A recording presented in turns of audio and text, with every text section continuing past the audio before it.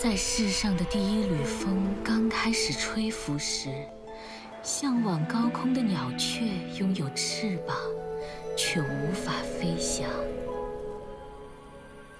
他们询问风神，自己如何才能拥抱天穹。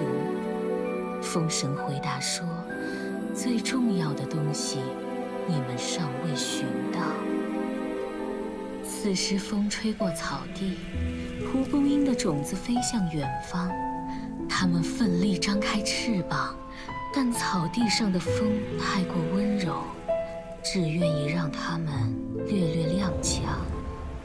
于是，他们来到峡谷，狂风展示着自己无匹的力量。他们鼓起勇气跃下峡谷，在呼啸的风中扇动双翼，直到他们能在由飞翔。